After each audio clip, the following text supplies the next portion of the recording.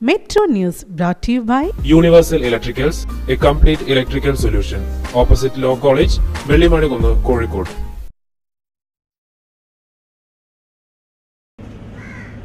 മൂന്ന് ശതമാനത്തിൽ നിന്ന് അഞ്ച് ശതമാനമായി ഉയർത്താൻ തീരുമാനിച്ചത്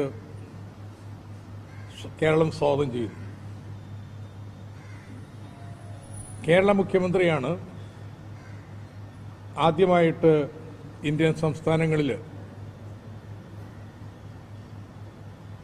അഞ്ച് ശതമാനം വായ്പാ പരിധി വേണം എന്ന് ഔപചാരികമായിട്ട് ആവശ്യപ്പെട്ടത് എന്ന കാര്യവും കൂടി ഈ സന്ദർഭത്തിൽ ഞാൻ ഓർക്കുകയാണ്.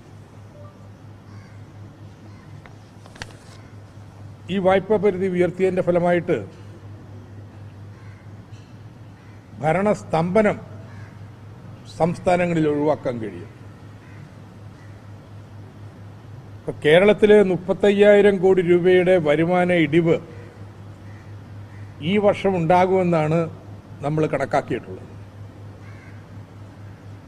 പക്ഷേ ഈ വായ്പാ പരിധി ഉയർത്തി പൂർണമായിട്ട് കിട്ടിയാലും പതിനെണ്ണായിരത്തി എൺപത്തേഴ് കോടിയെ അധികമായിട്ട് വായ്പ കിട്ടൂ. നമ്മുടെ വരുമാന ഇടിവിന്റെ പാതി മാത്രമേ നികത്താൻ കഴിയൂ.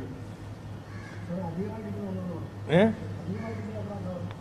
അധികമായ വായ്പ പതിനെണ്ണായിരത്തി എൺപത്തി ഏഴ് അതുകൊണ്ട് കേന്ദ്ര സർക്കാർ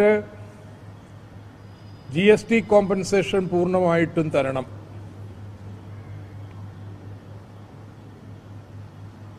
അതുപോലെ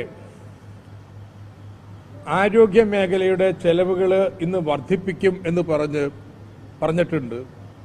അത് ഗണ്യമായിട്ട് ഉയർത്തിയാൽ മാത്രമേ കാര്യങ്ങൾ സുഗമമായിട്ട് കൊണ്ടുപോകാൻ കഴിയൂ. ഇത് പറയുമ്പോഴും ചില വിമർശനങ്ങൾ കേരള സർക്കാരിനുണ്ട്. അതിൽ വായ്പ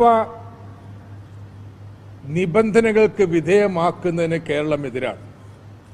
നിങ്ങളുടെ സ്നേഹം പോലെ സൗമ്യം Poppees baby skin safe dresses the way we care